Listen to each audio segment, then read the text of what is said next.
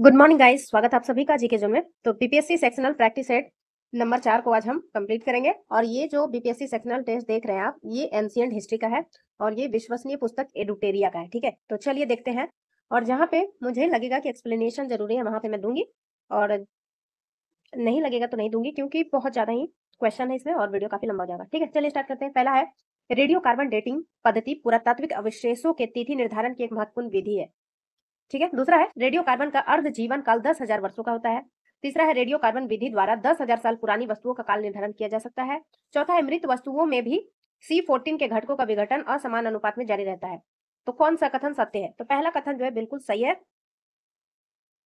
पहला कथन देखिए, बिल्कुल सही है कि रेडियो कार्बन पद्धति के द्वारा हम पुरातात्विक अवशेषों की तिथि का निर्धारण कर सकते हैं। दूसरा कथन गलत है क्योंकि रेडियो कार्बन का अर्ध जीवन काल दस हज़ार नहीं है, बल्कि पाँच हज़ार पाँच सौ अड़सठ वर्ष है, ठीक है? तीसरा कथन भी गलत है क्योंकि रेडियो कार्बन विधि द्वारा दस हज़ार साल पुरानी वस्तुओं का काल निर्धारण नहीं किया जा सकता है। पुरातात्विक वस्तुओं के काल निर्धारण में रेडियो कार्बन पद्धति की अपनी एक सीमा होती है और इस विधि के इस विधि के अनुसार सत्तर हज़ार साल से अधिक पुरानी वस्तुओं का काल निर्धारण नहीं किया जा सकता है। सत्तर हज़ार साल से अधिक पुरानी वस्तुओं का काल निर्धारण नहीं किया जा सकता है, ठीक है? नेक्स्ट है, मृत वस्तुओं में भी कार्बन फोर्टीन के घटकों का विघटन असमान अनुपात में होता है। तो ये कथन गलत है क्योंकि यह मात्रा जो है समान अनुपात में घटती है। तो हमारा आंसर क्या है? ऑप्शन नंबर सी, केवल एक कथन सही है। नेक्स्ट है शिला लेखों एवं अन्य पुराने अभिलेखों के अध्ययन को क्या कहा जाता है? तो शिला लेख और अन्य पुराने अभिलेख होते हैं, उनके अध्ययन को हम पैलियोग्राफी कहते हैं। तीसरा नंबर प्रश्न है, रिक्त स्थानों की पूर्ति करना, ठीक है? भारत में सबसे प्राचीन और पठनीय शिलालेख मौर्य सम्राट अशोक के हैं। वे आमतौर पर ईशा पूर्व तीसरी शताब्दी में डैश लिपि और डैश भाषा में लिखे गए हैं। तो लिपि देखिए, वो ब्राह्मी लिपि था और भाषा की बात की जाए तो प्राकृतिक, प्राकृत भाषा। तो ब्राह्मी लिपि और प्राकृत भाषा ऑप्शन नंबर बी इसका आंसर है। चौथा है, अशोक के शिला लेख सर्वप्रथम कब और किसके द्वारा पढ़े गए थे? तो ये सबसे पहले जेम्स प्रिंसप के द्वारा पढ़े गए थे। तो दोनों ऑप्शन में है और अगर डेट की बात की जाए तो वो डेट है अठारह तो अठारह में पढ़े गए थे जेम्स प्रिंसप के द्वारा। इसलिए आंसर हो जाएगा ऑप्शन नंबर सी। नेक्स्ट है। चौथा पांचवा नंबर प्रश्न है। सूत्र, साहित्य और विषय वस्तु, दोनों को मिलान करना है, ठीक है? शुल्क सूत्र, स्रोत सूत्र और गृह सूत्र। पहला है गणित और ज्यामिति से संबंधित है। उसके बाद दूसरा हो जाएगा स्रोत सूत्र है राज्याभिषेक और समारोह से, और गृह सूत्र है विभिन्न प्रकार के धार्मिक संस्कार। ये सुन के ही पता चल रहा था। गृह सूत्र हो जाएगा विभिन्न प्रकार के धार्मिक संस्कार से रिलेटेड है। स्रोत सूत्र हो जाएगा राज्याभिषेक समारोह और शुल्क सूत्र गणित और ज्यामिति से संबंधित है। तो ऑप्शन नंबर कितना होना चाहिए आंसर ऑप्शन नंबर बी दो, एक, तीन, ठीक है? चलिए छठा देखते हैं। वेदांगों की कुल संख्या कितनी है? तो वेदांगों की संख्या ये लगभग स्टैटिक टाइप का क्वेश्चन है। मोस्ट ऑफ़ द लोग को पता होगा, छह हो जाएगा। कौन कौन सा शिक्षा, व्याकरण, निरुक्त, छंद, ज्योतिष और कल्प? दक्षिण भारत के पुरातात्विक खुदाई में ऐसे स्थल बहुतायत में मिले हैं जहाँ बड़े बड़े पत्थरों के बीच लोगों को उनके औजारों, हथियारों और अन्य सामग्रियों के साथ दफनाया गया है। इसे कहा जाता है। तो इस स्थान को क्या कहा जाता है? मेगालिथ।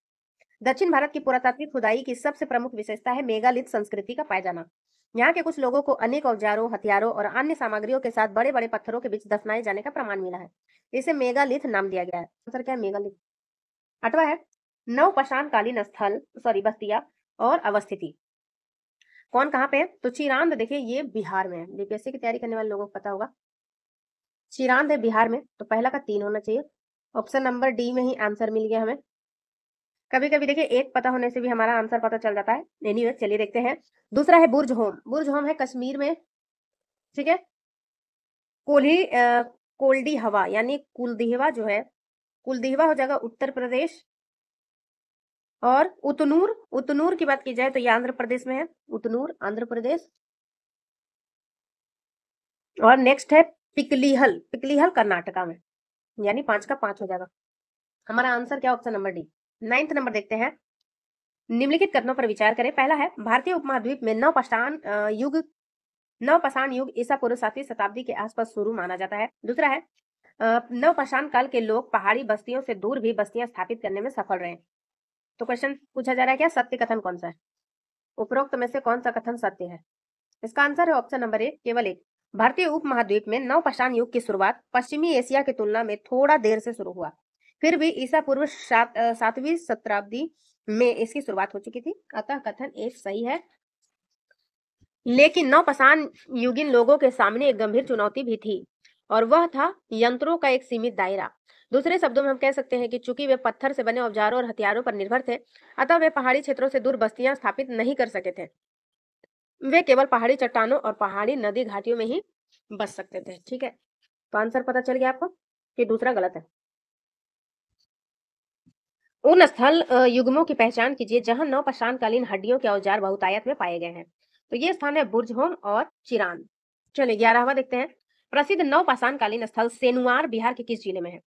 तो बिहार में जो नवपाषाणकालीन स्थल जो है इसमें चिरांद एक है। चिरांद जो कि सारण जिला में ठीक है? और सेनुआर की बात की जाए तो ये कैमूर पहाड़ी इलाके के रोहतास ज़िले में स्थित है। हम्म, रोहतास जिला ठीक है? ऑप्शन नंबर ए इसका आंसर है। और आपको ये भी याद रखना है चिरांद कहाँ पे ये सारण जिला में। बारहवा नंबर प्रश्न है निम्नलिखित में से किस पुरातात्विक स्थल से कब्र में मृतकों के साथ पालतू कुत्ते के दफनाए जाने के साक्ष्य मिले हैं? तो ये मिला है बुर्ज होम। बुर्ज होम से, ठीक है? नेक्स्ट है, निम्नलिखित ताम्रपालीन संस्कृतियों पर विचार कीजिए, यानी तेरहवा नंबर देखते हैं। पहला है, कैथ ताम्र प्रशांत संस्कृति, जोरवे संस्कृति आहर ताम्र प्रशांत संस्कृति और मालवा संस्कृति। उपरोक्त का काला, कालानुक्रमित क्रम क्या होगा?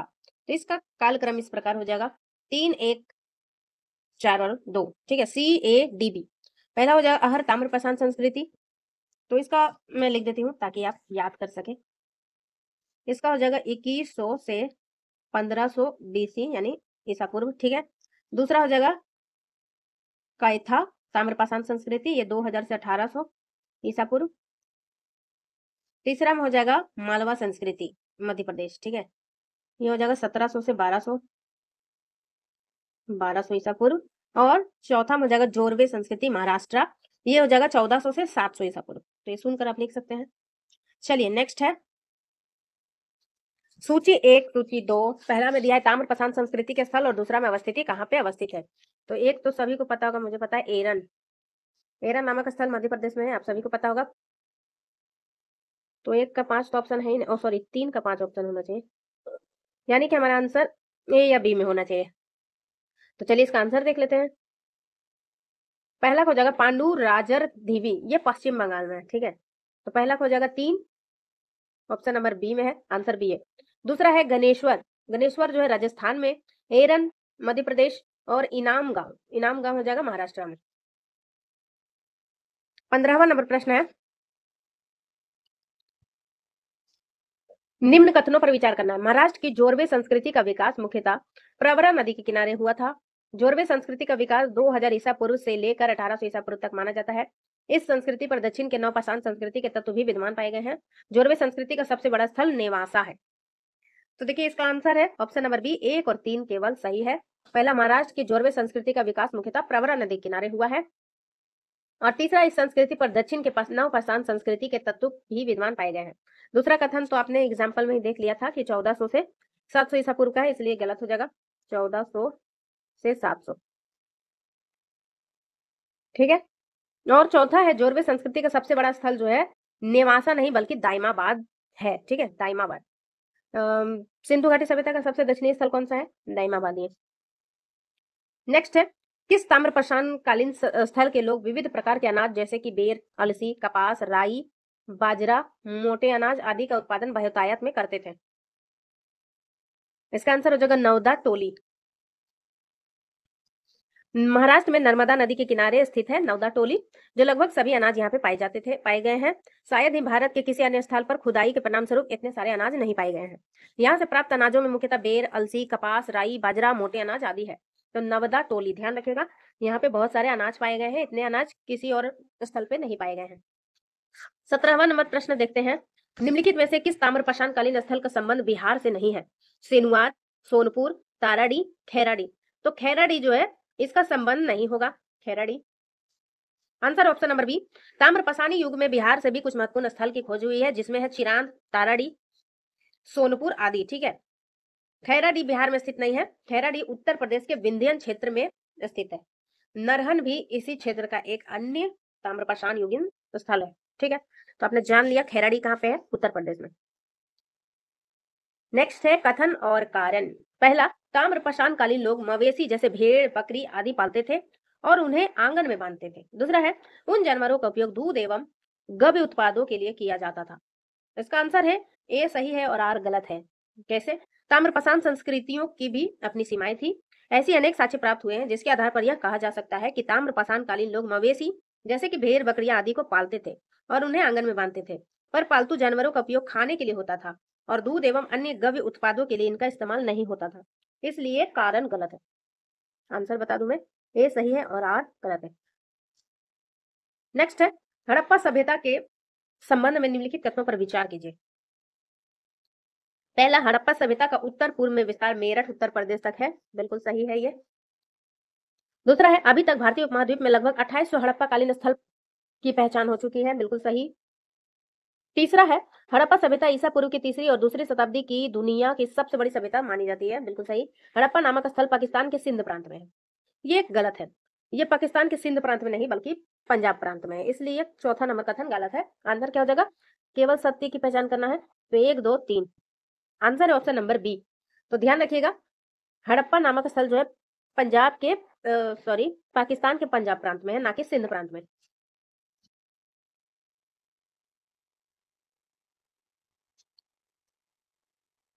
बीस नंबर प्रश्न है, हड़प्पा स्थल और अवस्थिति। पहला है कालीबंगा। तो कालीबंगा राजस्थान में है। तो ये हो जाएगा ए, तीसरा का। मतलब ये का तीन हो जाएगा। दूसरा है बनावली। बनावली हरियाणा में है। तो दूसरा का हो जाएगा चार। यानी चार का हो जाएगा बी। आलमगीरपुर उत्तर प्रदेश में है। धौलावीरा गुजरात। और दाइमाबाद महाराष्ट्र में है। तो ई का पाँच। तो चलिए मैच करते हैं। ई का पाँच से ही काटते हैं पहले हम लोग। फिर उसके बाद पहला का तीन है, दूसरा का क्या था? चार, दूसरा का चार दोनों ऑप्शन में है, तीसरा का एक था तो एक ऑप्शन नंबर डी में है आंसर हो जाएगा डी कालीबंगा, राजस्थान, बनावली हो जाएगा हरियाणा, आलमगीरपुर, उत्तर प्रदेश, धौलावीरा, गुजरात और दाइमाबाद, महाराष्ट्र. मोहनजोदड़ो से प्राप्त महान स्नानागर का परिणाम क्या था? परिमाप क्या था? तो देखिए, इस तरह के फैक्चुअल प्रश्न भी पूछे जा सकते हैं। इसलिए एकदम याद रखिए, ग्यारह दशमलव आठ आठ मीटर इसकी लंबाई थी, सात पॉइंट ज़ीरो एक मीटर चौड़ाई और दो पॉइंट चार तीन मीटर इसकी गहराई थी तो ऑप्शन नंबर सी इसका नहीं डी डी डी डी इसका आंसर है सात पॉइंट चार। नेक्स्ट आगे देखते हैं। रिक्त स्थानों की पूर्ति विकल्प में दिए गए उचित शब्द के आधार पर करना है पहला। कालीबंगा के डैश हिस्से में भी ईट के चबूतरे हैं, जिसका इस्तेमाल अन्नागर के लिए होता था। तो ये हो जाएगा दक्षिण। आलमगी सॉरी कालीबंगा के दक्षिणी हिस्से में ईटे के चबूतरे थे, जिसका इस्तेमाल अन्नागार के रूप में होता था। नेक्स्ट है हड़प्पा सभ्यता किस धातु युग से संबंधित मानी जाती है? तो ये काश्य युगीन सभ्यता थी। ऐतिहासिक विकास के क्रम में जो है, सभ्यता संस्कृति का विकास कैसे हुआ? पूरा पाषाण मध्य पाषाण नव पाषाण ताम्र पाषाण काश युगीन और लोह युगीन हड़प्पा सभ्यता का हड़प्पा सभ्यता जो है काश युगीन सभ्यता की कोटि माता है। इसलिए आंसर हो जाएगा ऑप्शन नंबर ए नेक्स्ट है, हड़प्पा संस्कृति की लिपि की खोज कब की गई थी? तो इसकी लिपि की खोज अठारह सौ तिरपन ईस्वी में हुई थी, लेकिन अभी तक इसको पढ़ने में सफलता नहीं मिली है। दोस्तों, इसका आंसर हो जाएगा 1853 में तो अठारह की क्रांति के चार साल पहले। नेक्स्ट है, मेसोपोटामिया और हड़प्पा सभ्यता के नगरों के बीच व्यापारिक गतिविधियों के पर्याप्त साक्ष्य प्राप्त हुए हैं। मेसोपोटामिया के ग्रंथों में हड़प्पाई क्षेत्रों के लिए किस नाम का प्रयोग हुआ है? तो इसके लिए मेलुहा शब्द का प्रयोग हुआ है। पच्चीस का आंसर होगा ऑप्शन नंबर सी नेक्स्ट है हड़प्पा सभ्यता के मुहरों पर तीन सिंह वाले सिर के एक योगी की चित्र प्राप्त हुआ है। मुद्रा चित्रित है, जिसके पास कुछ पशुओं के चित्र भी उत्कीर्ण किए गए हैं। इन पशुओं में किस पशु का चित्र मोहर में नहीं पाया गया है? हिरन, हाथी, गेंडा, बैल। तो हाथी, गेंडा, बैल और हिरन में से बैल का चित्र जो है नहीं प्राप्त हुआ है।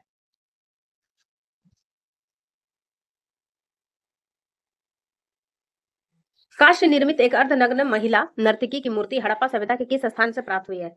तो इस महिला की मूर्ति जो है हड़प्पा नामक स्थल से प्राप्त हुई है। आर्य शब्द किस बात का संकेतक है? आर्य शब्द एक राजनीतिक समुदाय, सामाजिक समुदाय, भौगोलिक समुदाय या सांस्कृतिक समुदाय? तो इसका आंसर हो जाएगा एक सांस्कृतिक समुदाय। नेक्स्ट है, भारोपीय भाषा से जुड़े अभिलेख और उनकी प्राप्ति का स्थल। पहला है कसित अभिलेख। ये हो जाएगा ईरान से प्राप्त हुआ है। दूसरा है हित्ती अभिलेख। हित्ती अभिलेख तुर्की से और मित्तानी अभिलेख सीरिया से। Answer option number C. चलिए, आगे देखते हैं। कथन और कारण, ठीक है? इंडो आर्यन समुदाय के लोग कबीलाई और गैर कबीलाई संघर्ष में हर जगह सफल रहे। दूसरा है कारण मतलब इंडो आर्यन के पास अस्त्र शक्ति रथ, कवच और बेहतर हथियार थे। तो देखिए, दोनों ही कथन सही है और कथन की कारण जो है, कथन की सही व्याख्या करता है। इसलिए आंसर जो ऑप्शन नंबर एक निम्नलिखित ऋग वैदिक संस्थानों पर विचार करें। सभा समिति, विदत और गण। उपरोक्त में से किन संस्थाओं में महिलाओं, महिलाएँ भी भाग लेती थी? तो ये हो जाएगा सभा और विदत।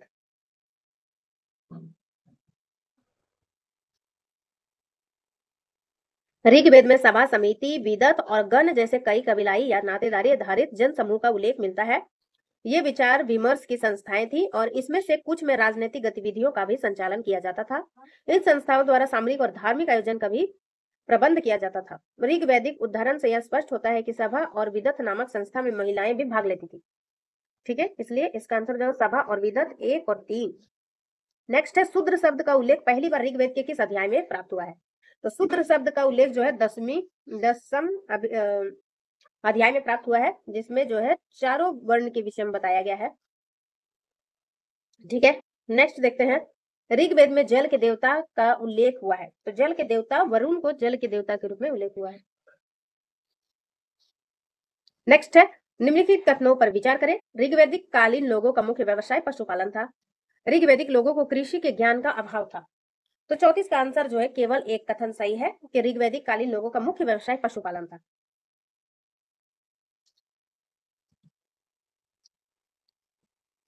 ऋग्वेद में प्रयुक्त शब्द उनकी संख्या। तो देखिए कितने शब्द का प्रयोग कितनी बार हुआ है, ये मिलान करना है। तो पहला देखिए जनपद शब्द जो है, इसका उल्लेख एक बार भी नहीं हुआ है, यानी शून्य बार। इंद्र का उल्लेख ढाई सौ बार हुआ है। तो मिलाते चलते हम लोग, जनपद शब्द का प्रयोग नहीं हुआ है।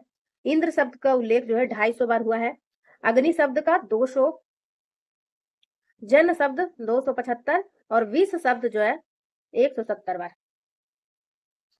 तो जनपद शब्द जो है, एक बार भी प्रयोग नहीं हुआ है। सबसे अधिक इंद्र शब्द का प्रयोग हुआ है 250 बार। अग्नि शब्द दूसरा सबसे अधिक है 200 जन शब्द 200 no guys I am sorry देखिए, जनपद शब्द का एक बार भी प्रयोग नहीं हुआ है। सबसे अधिक किसी देवता के शब्द का प्रयोग हुआ है तो वो है इंद्र का 250 बार। उसके बाद अग्निदेव का 200 बार। जबकि जन शब्द जो है, जन, ध्यान रखिए जन। जन शब्द 275 बार आया है, जबकि विश्व शब्द 170 बार।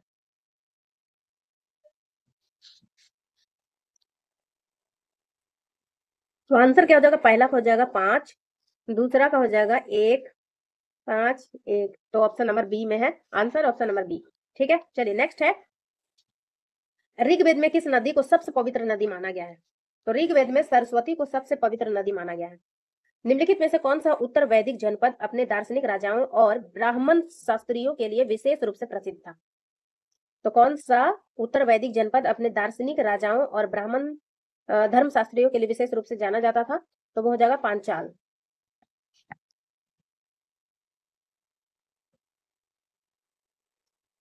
वर्तमान में जो उत्तर प्रदेश के बरेली, बंदाई और फर्रुखाबाद जिला है, वहीं पर। निम्नलिखित में से किस देवता के श्लोक के साथ पाठ किए जाने वाले अनुष्ठान भी बताए गए हैं? तो ये हो जाएगा यजुर्वेद। यजुर्वेद, ठीक है? निम्नलिखित उत्तर वैदिक जनपदों पर विचार कीजिए। उपरोक्त में से कहा, ईसा पूर्व 600 के आसपास उपनिषदों का संकलन किया गया था। तो ये प्रश्न जो है, काफ़ी अच्छा है। इसका आंसर है केवल चार और छह, केवल चार और छह यानी कि पांचाल और विदेह। निम्नलिखित भारतीय दर्शन प्रणाली की किस शाखा का संबंध भौतिकवादी दर्शन से नहीं है? लोकायत, मीमांसा, सांख्य, वैशेषिक। तो इसका आंसर हो जाएगा मीमांसा। मीमांसा का शाब्दिक अर्थ होता है तर्क और व्याख्या, ठीक है? मीमांसा का क्या शाब्दिक अर्थ है? तर्क और व्याख्या की कला। यहाँ विभिन्न वैदिक अनुष्ठानों को जायज़ सिद्ध करने के लिए तर्क का इस्तेमाल किया जाता था और मुक्ति की प्राप्ति उनके प्रदर्शन पर निर्भर था। मीमांसा दर्शन के अनुसार वेद ही शाश्वत सत्य है। यह एक आध्यात्मिक दर्शन था, न कि भौतिकवादी भौतिकवादी। लोकायत दर्शन एक भौतिकवादी दर्शन था, जिसके प्रतिवादक चरवाक थे। इस दर्शन के इहलोक इहलोक यानी कि भौतिक विश्व के साथ गहरे संबंध के महत्व पर बल दिया और परलोक के अस्तित्व को पूर्णतया नकार दिया। किसने? लोकायत ने। वैशेषिक दर्शन भौतिक तत्वों या द्रव्य की चर्चा को विशेष महत्व देता है। अतः यह भी एक भौतिकवादी दर्शन है। हमारा आंसर क्या हो जाएगा? मीमांसा। इसका शाब्दिक क्या है? तर्क और व्याख्या की कला। नेक्स्ट है इकतालीसवा नंबर प्रश्न।